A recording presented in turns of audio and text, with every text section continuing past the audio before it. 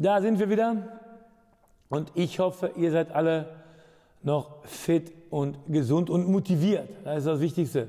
Also weiter hier am Ball bleiben und nicht den, ich habe das am Anfang mal gesagt, im ersten Video draußen vor der Tür, nicht den Sand in den Kopf oder Kopf in den Sand stecken, sondern weiter volles Rohr hier weitermachen. So, ähm, gestern gelaufen, dann davor Stabi und davor war äh, Zirkeltraining.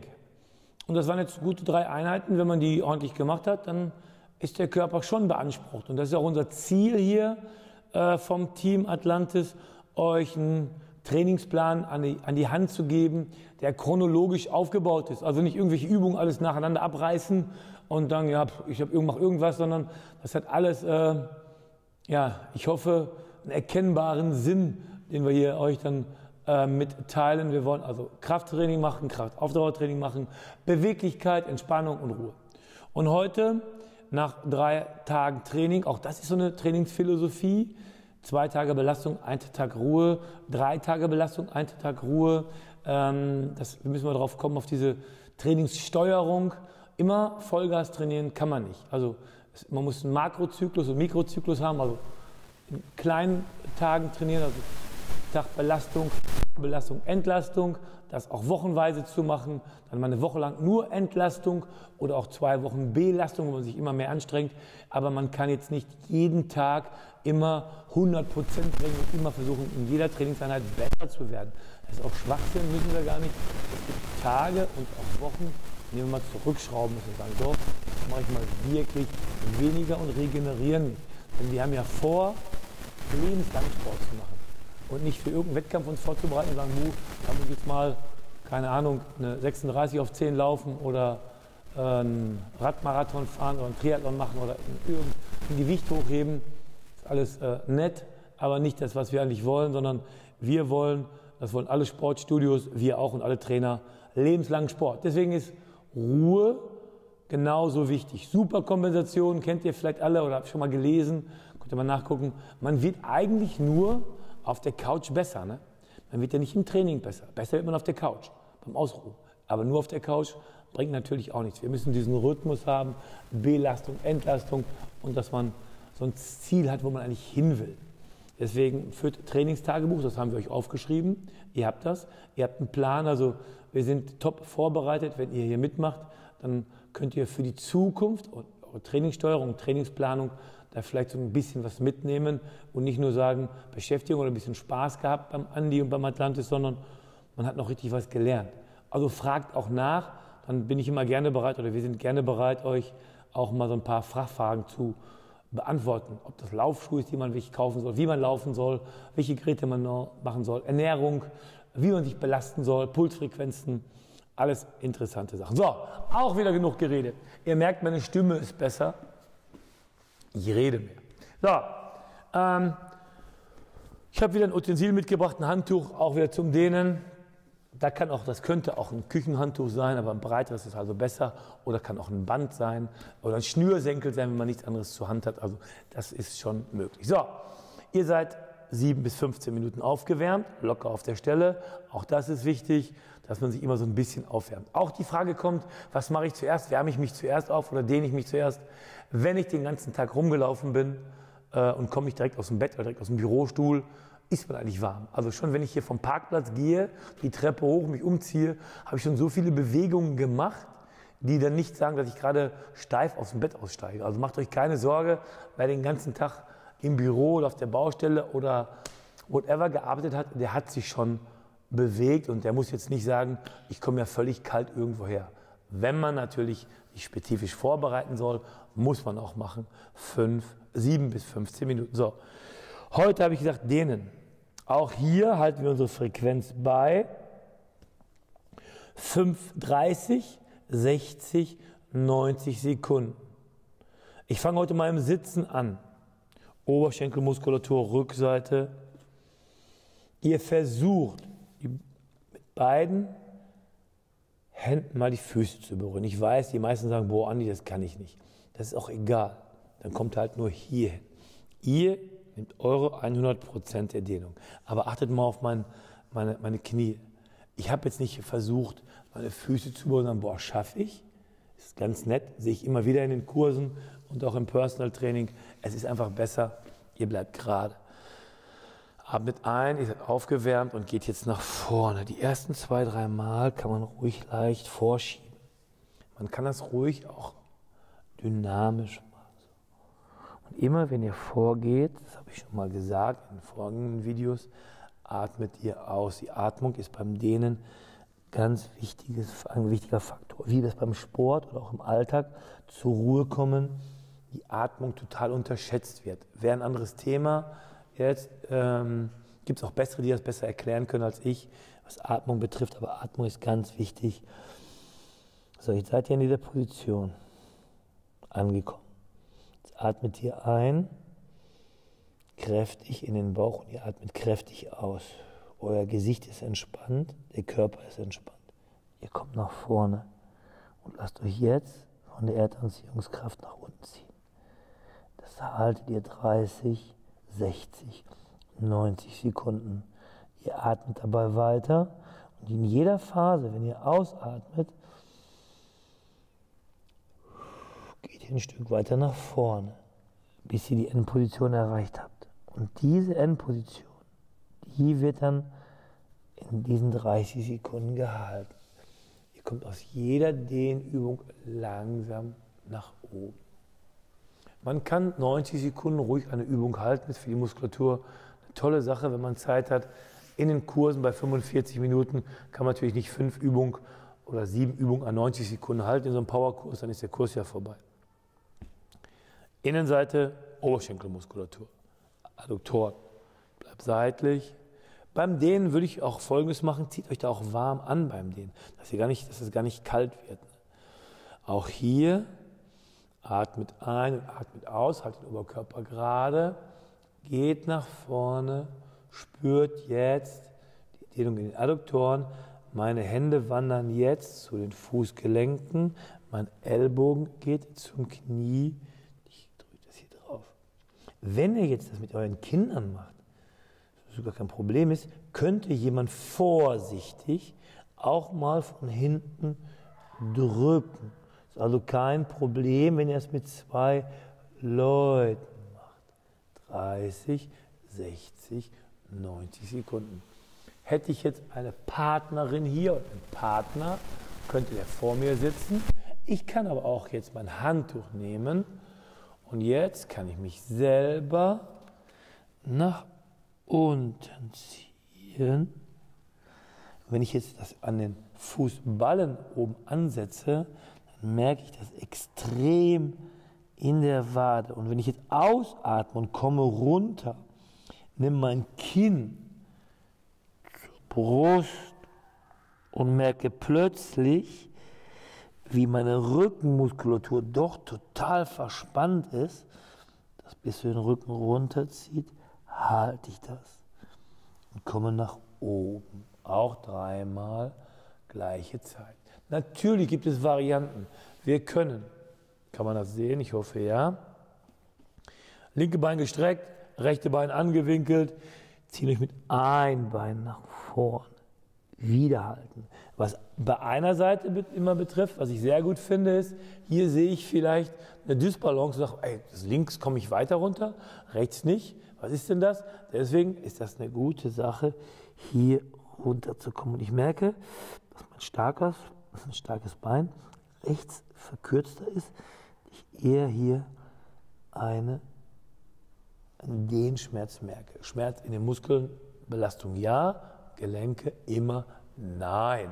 So, das war schon mal Oberschenkelmuskulatur, Rückseite. Mobilisation, Fußgelenke, kommt man immer zu kurz. Ich habe ja gesagt, ihr seht ja, ich habe immer, also außer beim Laufen, mache ich fast alles ähm, in Socken. Hierbei der Hinweis ist erlaubt, auf so einem Boden Rutschsocken natürlich nehmen. Aber Fußgelenke zu bewegen, immer ein ganz wichtiges Thema. Wir haben die Vorderseite gemacht, jetzt werden wir uns den Rücken legen. Wir bleiben gleich in der Position, strecken uns. Das Handtuch brauche ich gleich noch. Der Schneeengel, den kennt ihr, da achtet mal hier auf meine Hände. Ich möchte also in der ganzen Phase immer den Unterarm, schaffe ich nicht ganz, aber ich schaffe meine Hand auf dem Boden zu lassen. Und hier, das ist immer dieser Punkt, jawohl, wo ich merke, hier braucht meine Schultermuskulatur, wenn ich viel Liegestütze mache, die Dehnung nach hinten. Wir wollen den Brustkorb öffnen, einfach eine gerade Haltung zu bekommen und wieder Disbalancen abzufedern und abzumildern. Bandscheibenvorfall gibt es natürlich auch, äh, klar, aber das meiste sind wirklich muskuläre Verspannungen. So, linker, rechter Fuß, linkes Bein, mehrere Varianten. Ihr könnt das linke Bein anheben, ihr könnt aber auch durch das Bein greifen, nach hinten ziehen, Kopf bleibt Halswirbelsäule, Brustwirbelsäule. Ihr atmet tief ein und aus und haltet wieder 30, 60, 90 Sekunden lösen. Das natürlich auf beiden Seiten.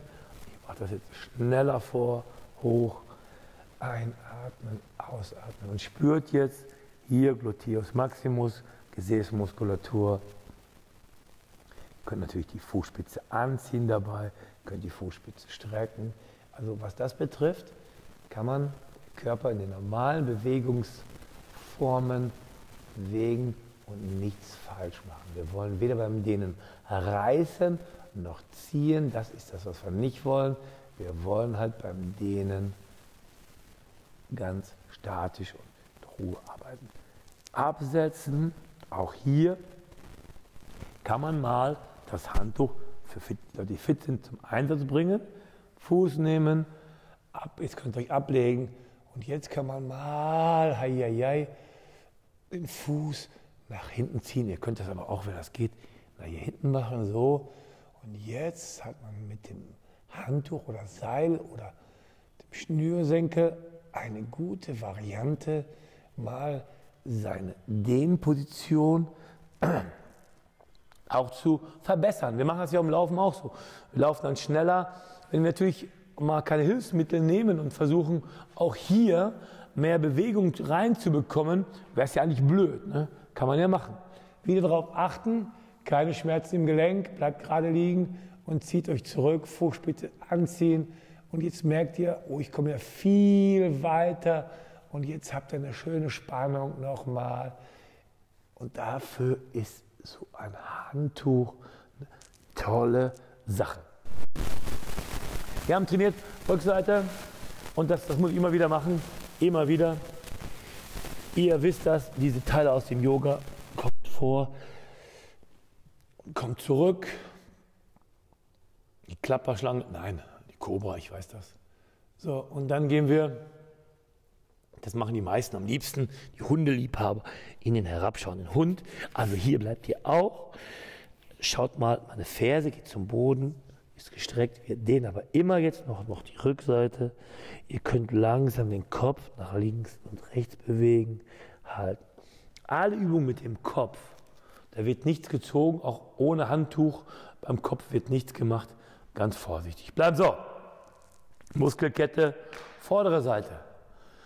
Versucht euch einfach mal hier hinzusetzen. Da haben schon meistens die große Schwierigkeit mit, hier zu sitzen und sagen, oh, kann ich mich eigentlich hier hinsetzen? Geht das überhaupt? Halte ich die Spannung durch? Das ist schon die erste Dehnübung, die gar nicht so einfach ist. Da kann man natürlich die Beine weiter auseinander machen und auch sich da zwischen seinen Füßen sitzen. Jetzt kommt meine absolute Lieblingsübungen. Ihr geht nach hinten, auch halten. Ihr könnt das wieder mit Atemzügen machen oder ihr könnt auf eine Uhr schauen. Aber 30 Sekunden ist immer schwierig einzuhalten, wenn man keine Uhr hat. Deswegen ist Atemzüge, das habe ich ja letztes Mal schon gesagt, eine tolle Sache, als wir Stabi gemacht haben. Auch hier nach oben gehen und im Dehnen halten, halten. Und ihr merkt jetzt plötzlich die ganze Muskelkette vorne, wie hervorragend die gedehnt wird. So.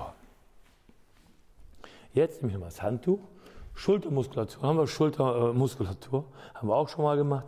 Bleibt locker, ihr seid warm, wieder weist nochmal darauf hin, ihr habt euch bewegt.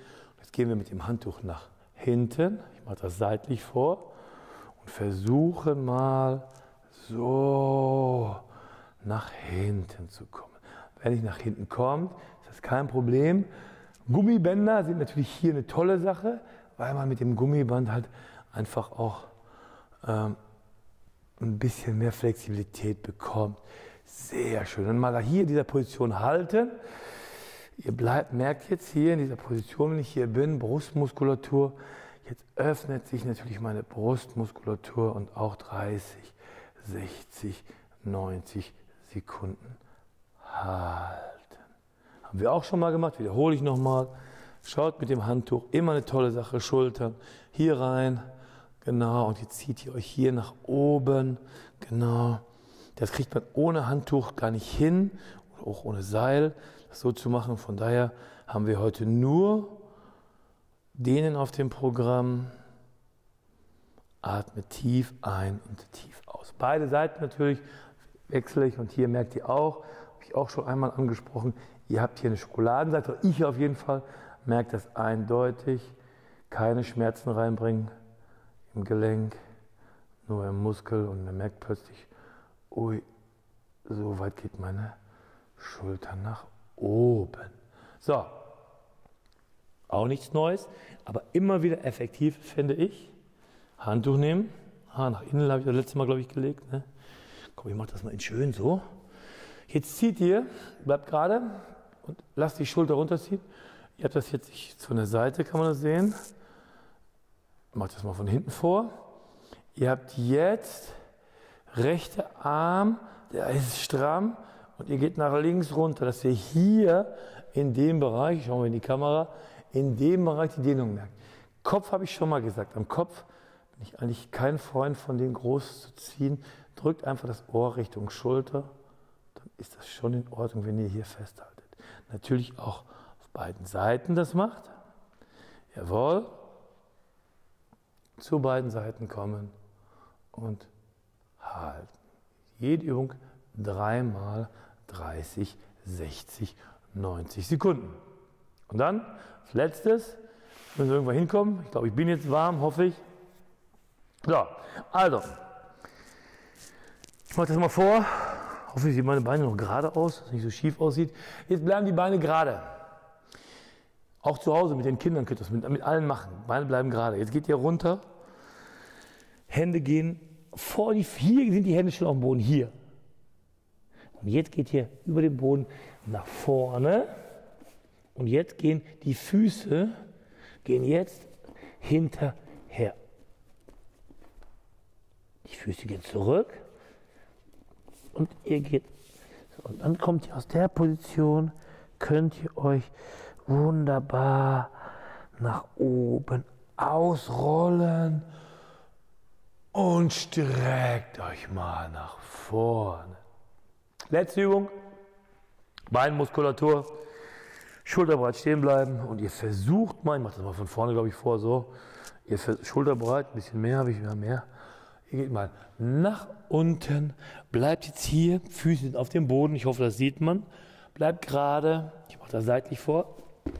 So, so, guckt mal, bleibt jetzt hier gerade stehen, so, jawohl, gerade bleiben, halten. Ihr könnt hier ein wenig wegdrücken, sehr gut. Jetzt nochmal Hände auf dem Boden, nach oben kommen. Und ihr seht, schaut mal, hier seid ihr so beweglich, dass die ganze Hand auf dem Boden ist, Füße auch, Knie sind gestreckt. Und wenn ich das hinkriege, dann ihr erst recht. So, ich hoffe, es hat euch Spaß gemacht. Wir haben Zirkeltraining gemacht, wir haben Stabi gemacht, wir sind gelaufen, heute gedehnt. Ich habe mich bei allen bedankt, bei euch auch. Und denkt nochmal dran, die Zeit ist noch nicht vorbei, wir müssen noch ein bisschen vorsichtig sein. Passt gut auf euch auf, bleibt gesund und wir sehen uns morgen wieder. Euer Team Atlantis und der Andi.